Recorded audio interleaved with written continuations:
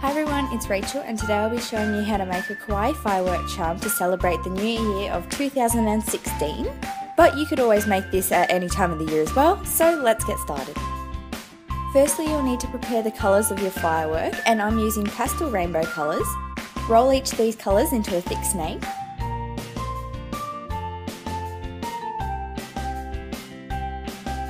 Next join them and roll them out all together on your work surface.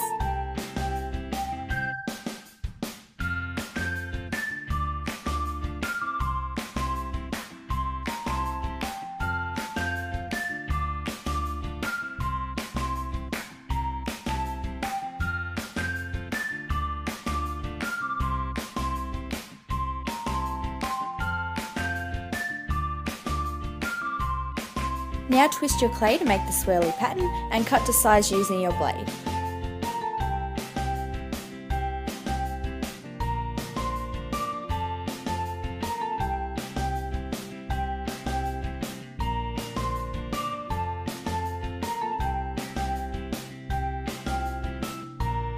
Next we're going to make the tip of our firework by shaping a cone and attaching it to the top.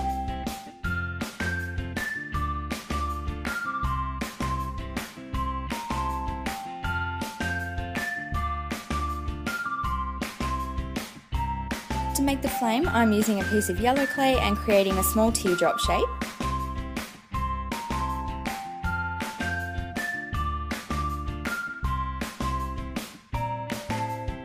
Now place a piece of wire into the firework and stick the flame on the end.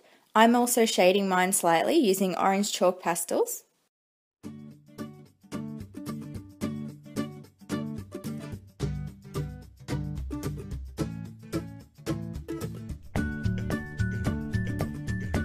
So for the face, create two indents and add the eyes which are just two balls of black clay.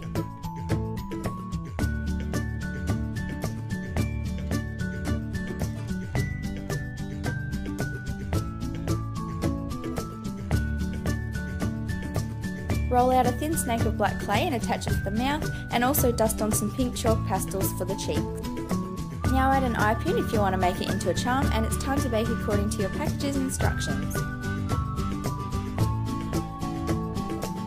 So after baking, I secured the eye pin, flame and fuse with super glue and then also added a few coats of glaze.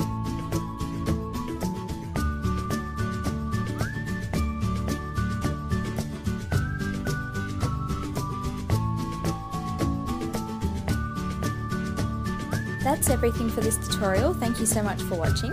Don't forget to subscribe for more videos and I'll see you again in 2016. Bye guys! Here are also a bunch of photos that were sent in to me by my lovely subscribers and followers showing charms that were inspired by me or used one of my tutorials. I just wanted to say thank you so much for all the support you've given me this year.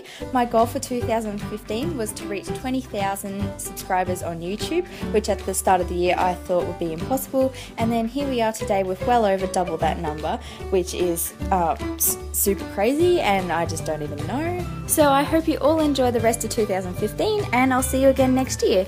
Bye guys!